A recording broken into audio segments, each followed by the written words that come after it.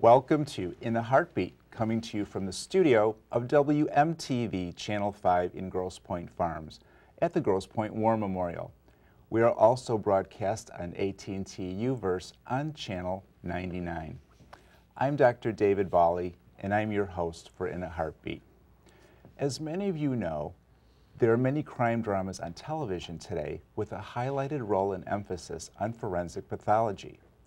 The forensic pathologist is often the star of the show, using special tests and technology to solve an important mystery.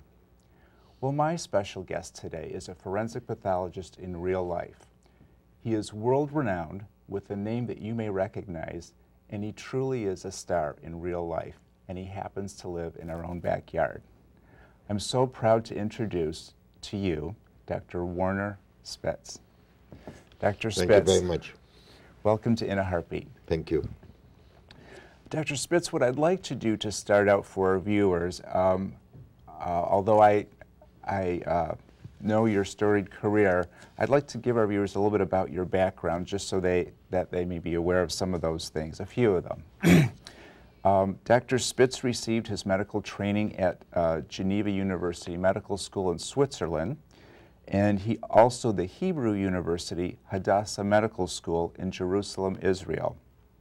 He is professor of pathology at Wayne State University School of Medicine and adjunct professor of toxicology at the University of Windsor in Canada. He is certified by the American Board of Pathology in anatomic and forensic pathology, and he's the author of over 96 scientific publications, and he has served on various committees investigating the assassinations of President John F. Kennedy and Martin Luther King. He has testified in numerous high visibility cases in this country and abroad. He testified as expert witness in the Mary Jo Kopechne Ted Kennedy Chappaquiddick case and for the Goldman family in the wrongful death lawsuit against O.J. Simpson.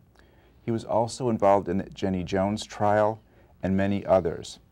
He was also consulted with the Boulder, Colorado police regarding the JonBenét Ramsey case. And more recently, as you may be aware, he testified in the Philip Spector case in California and in the Casey Anthony trial in Florida. In addition to that, he's received numerous awards and accolades, which are probably too many to go into, otherwise they would take up all of our show. but um, anyway, uh, Dr. Spitz, I'd like to start out by asking you, um, how did you come to uh, come to the United States, and what, what happened when you got here? Well, I uh, came to the United States to look around. To everybody was talking. Everybody in medicine that I knew was talking about uh, how great medicine is in America, and uh, the education in forensic pathology is unequaled to any other place that anybody could suggest. And I was after my training in medicine. In fact, I had done seven years of forensic pathology already. So uh, I decided I'm going to go to America and look and see what goes on here. And uh, the consul, who I knew, the American consul, who was, was going to issue the visa, said to me, don't take a visitor's visa, take an immigration visa. If you don't like it, you don't need to stay, you can go back. And I had a grant for one year to come here, every all expenses paid, if I come back after one year. My boss wouldn't sign it because he said, you're not coming back. and I said, why do you say that? And he said, well, I know that you're not going to come back because America will attract you. And he was right. I came here, and after three weeks, I decided to stay. And the law indicated at that time, and maybe still does, that if you come here on the wrong visa, you have to leave the country for two years and go to the country of your origin. So I had to leave because I came on the wrong visa. And uh, it's not like going to uh, to uh, coming in here from Mexico. You can, like today, you jump the wall and you're in. But uh, at that time, I had to fill a quarter of an inch form that uh, um, asked about all kind of strange questions. And Dr. Spitz, when you came here, you first were in Maryland, is that right? I was in Maryland for um, 12 years all told. And you were sharing with me a wonderful story about how you were looking for the, the office of the coroner, was it? Yes. The, uh, the, the, uh, I worked at the Office of the Medical Examiner, State of Maryland Medical Examiner, and I worked there for about 12 years. And explain for our viewers the differences that you saw from when you were in Europe versus when you came to Maryland. Well, in uh, foreign countries, in actually most, if not all of Europe that I'm aware of, uh, the medical exam there is no medical examiner. It's a forensic pathology who works for the police and is attached to the university, to the medical school. It's within the confines of the medical school.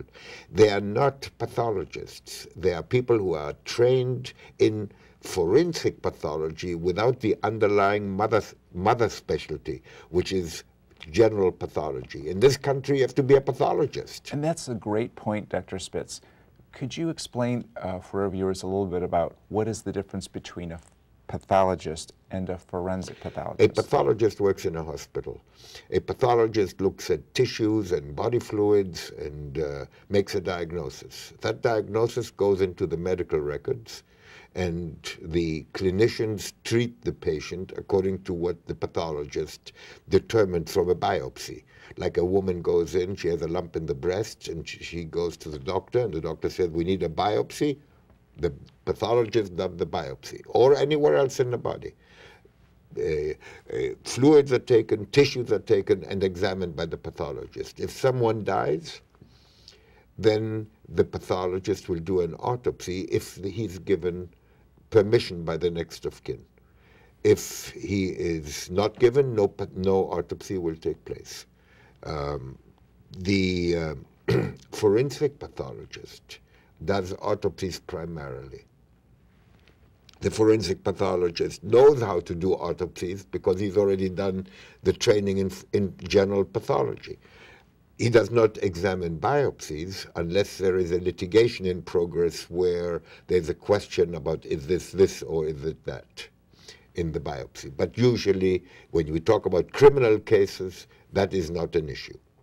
Where uh, he does an autopsy, and he doesn't need the permission of the next of kin because he operates under the uh, under state law.